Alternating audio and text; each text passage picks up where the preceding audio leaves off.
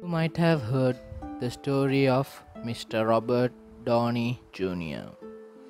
or the Marvel character Iron Man or Tony Stark.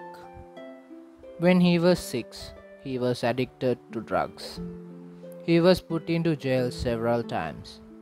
He was put to rehab to get him out of his drug addiction. But after some time, he joined Hollywood and became a Marvel character.